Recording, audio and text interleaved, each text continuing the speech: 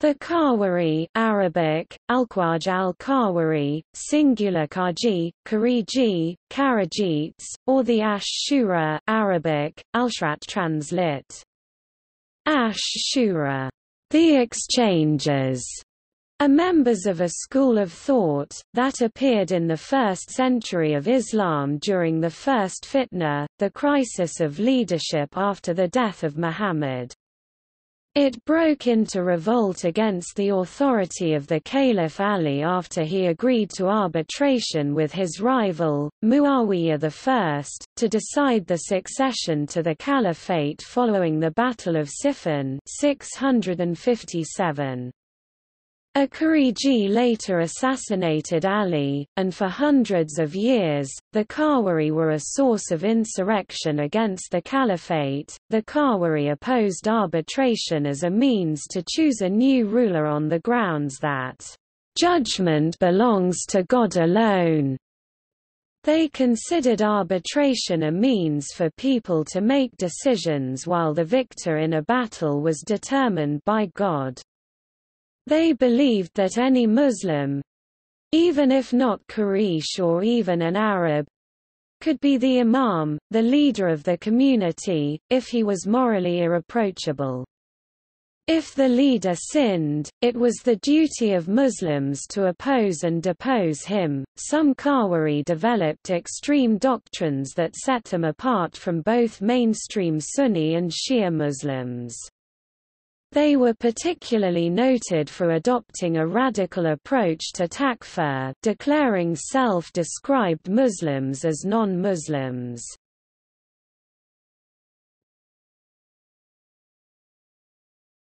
Topic: Etymology The term al-Khariji was used as an exonym by their opponents from the fact that they left Ali's army.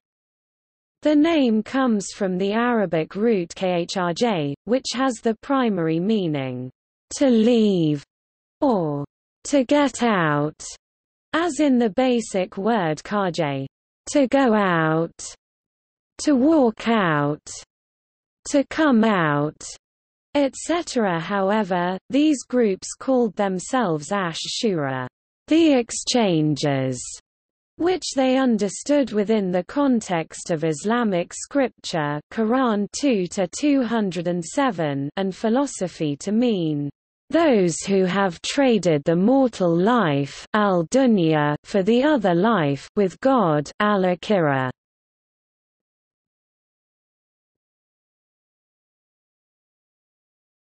Topic: History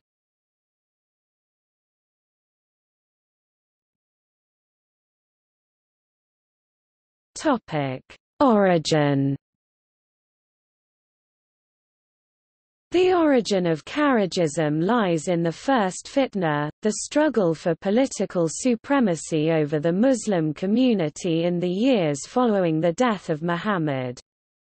After the death of the third Rashidun Caliph, Uthman, a struggle for succession ensued between Ali and Muawiyah I, the governor of Syria and cousin of Uthman, in league with a variety of other opponents.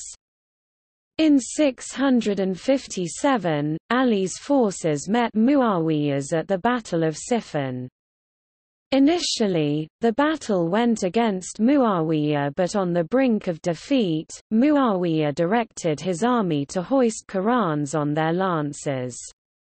Muawiyah proposed to Ali to settle their dispute through arbitration, with each side appointing referees who would pronounce judgment according to the Quran.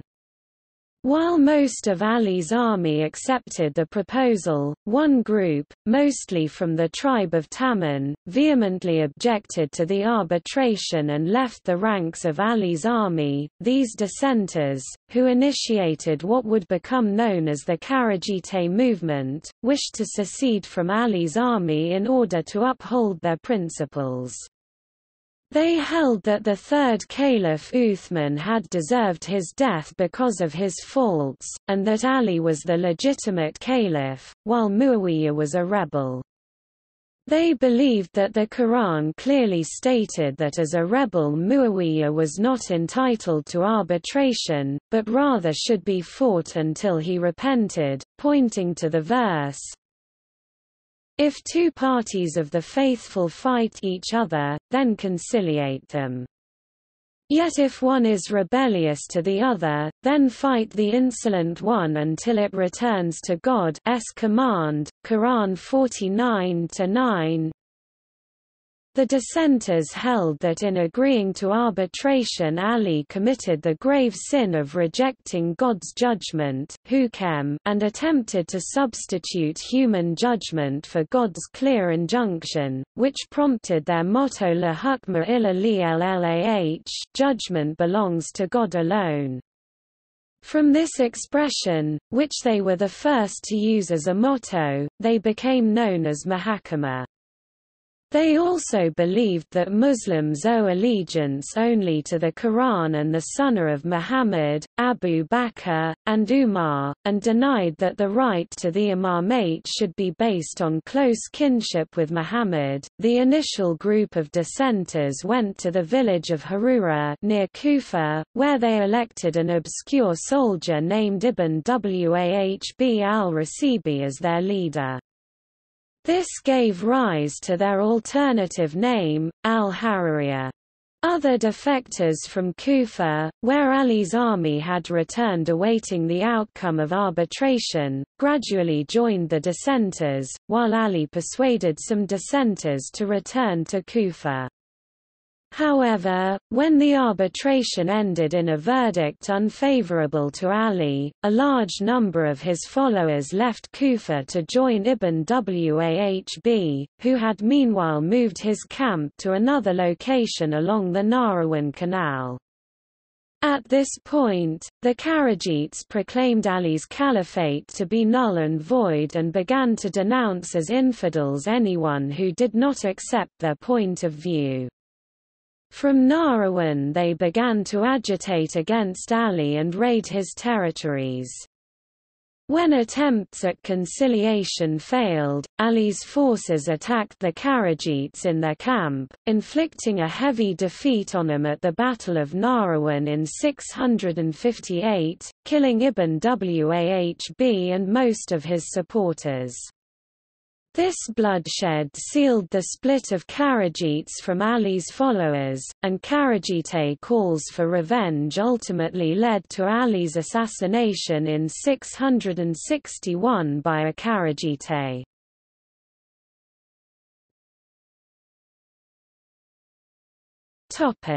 Later history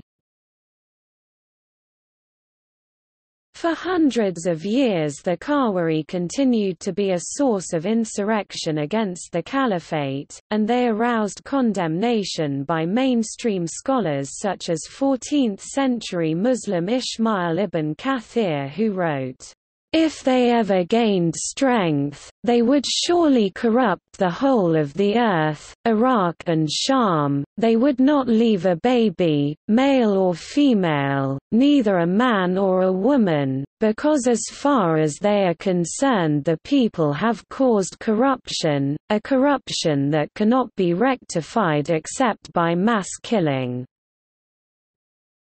In a similar vein, the 10th-century Islamic scholar Abu Bakr al-Ajuri said, None of the scholars, in either past or recent times, ever disagreed that the Khawarij are an evil group, disobedient to Allah Almighty and to His Messenger, peace be upon him.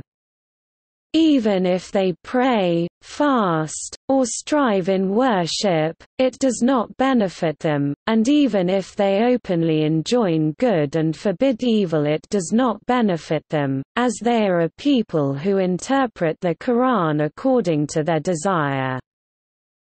One modern historian describes Khawarij as Bedouin nomads who resented the centralization of power in the new Islamic state that curtailed the freedom of their tribal society.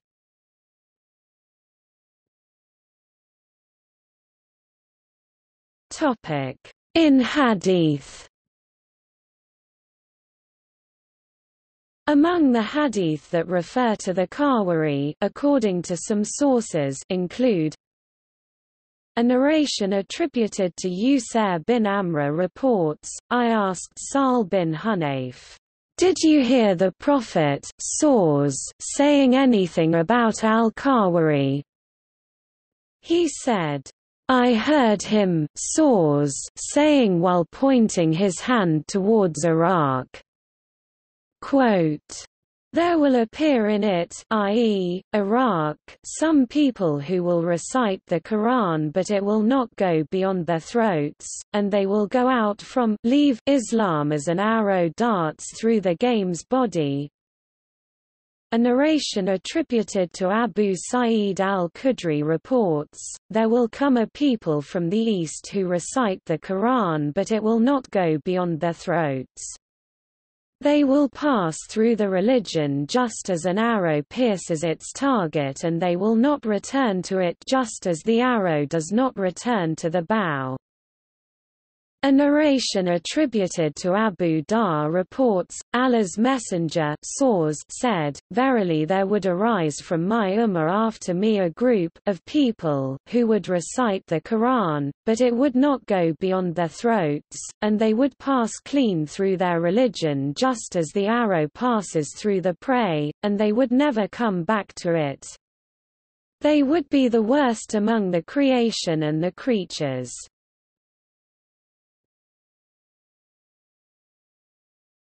Topic: Beliefs and practices.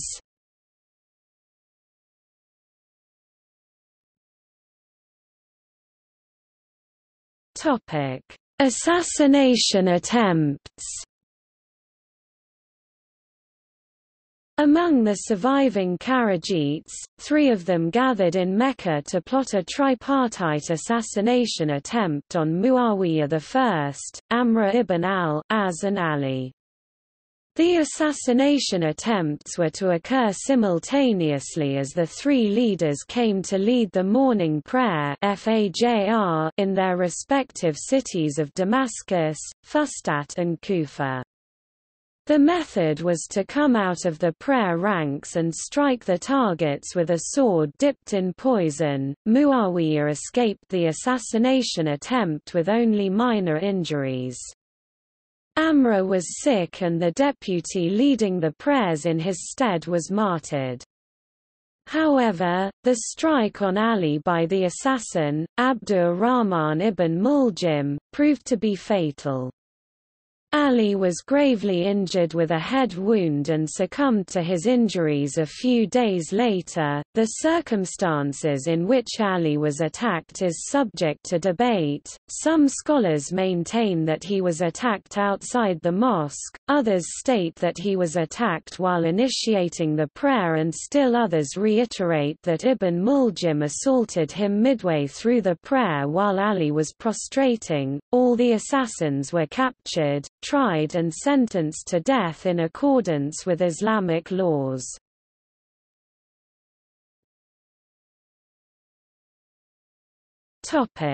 Modern times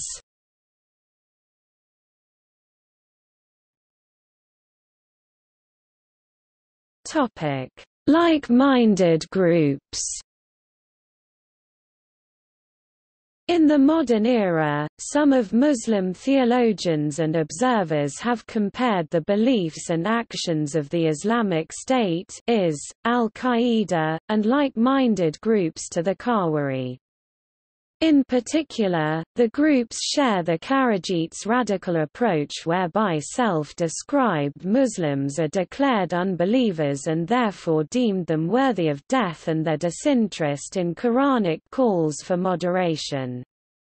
However, IS preachers strongly reject being compared to the Khawarij. The Ibadis, a fellow early sect with similar beliefs, form the majority of the population of Oman where they first settled in 686, and there are smaller concentrations of them in the Mzab of Algeria, Djerba in Tunisia, the Nafusa Mountains in Libya, and Zanzibar. In the 18th century, Hanafi scholar Ibn Abidin declared the Wahhabi movement of Muhammad ibn Abd al-Wahhab as modern Khawarij although he does not consider them non-Muslims. According to some Muslims such as Abu Amina Elias, Kharijites will continue to cause strife in the Muslim community until end times, and cite a hadith number 7123 from Sahih al-Bukhari in support of this.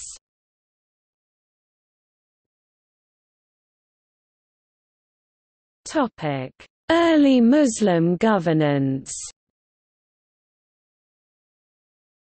The Khawarij considered the caliphate of Abu Bakr and Umar to be rightly guided but believed that Uthman had deviated from the path of justice and truth in the last days of his caliphate and hence was liable to be killed or displaced. They also believed that Ali committed a grave sin when he agreed on the arbitration with Muawiyah. The Kharijites thus deemed the arbitrators Abu Musa Ash'ari and Amr ibn al-As, the leaders who appointed these arbitrators Ali and Muawiyah I and all those who agreed on the arbitration all companions of Ali and Muawiyah as kufar disbelievers, as they had breached the rules of the Quran. They also believed that all participants in the Battle of the Camel, including Talha, Zubair ibn al-Awwam and Aisha had committed a major sin.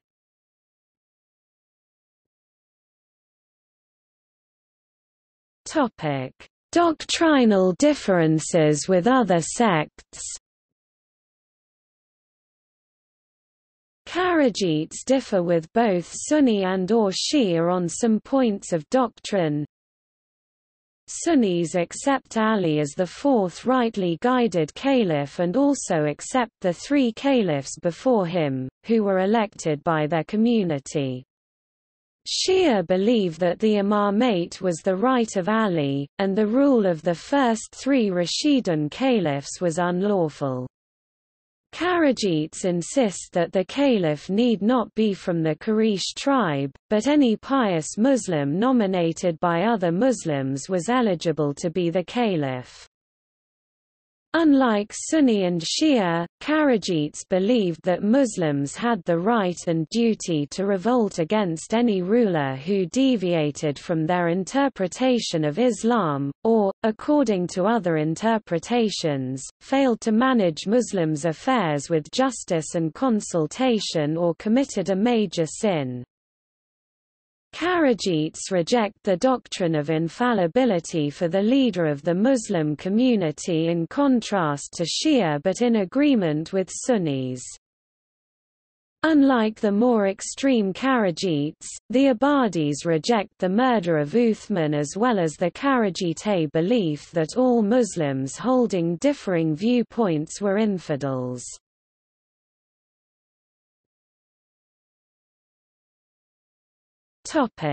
Other doctrines Many Khawarij groups believed that the act of sinning is analogous to kufr disbelief, and that every grave sinner was regarded as a kafir unless they repent.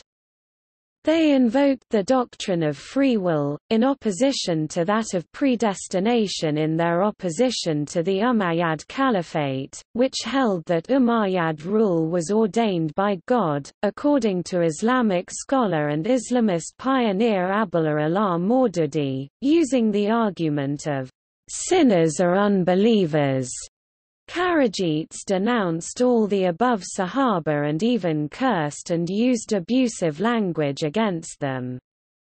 Other non-Khawarij Muslims were declared disbelievers because they were not free of sin but also because they regarded the above-mentioned Sahaba as believers and religious leaders, even inferring fiqh from the hadith narrated by them. The Khawarij considered the Quran as the source for fiqh but disagreed about the other two sources, hadith and ijma, based on Kharijite poetry writings. Scholars scholar Ihsan Abbas finds three categories of focus among them.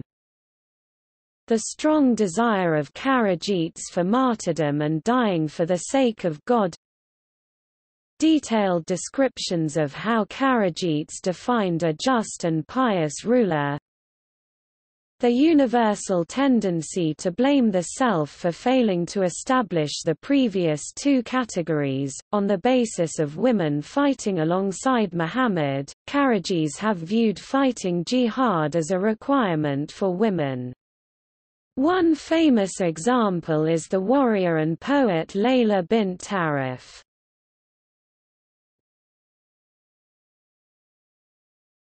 Topic Principal groups.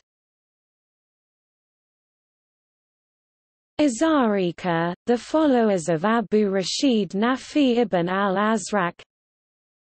Najdat, the followers of Najda ibn Amir. Ajadites, the followers of Abd al-Karim ibn Adrad Ibadis, the followers of Abd Allah ibn Ibad are not the same ideology as the Khawarij but share similar beliefs. Sufris, the followers of Ziyad ibn al-Asfar and Umran ibn Hattan.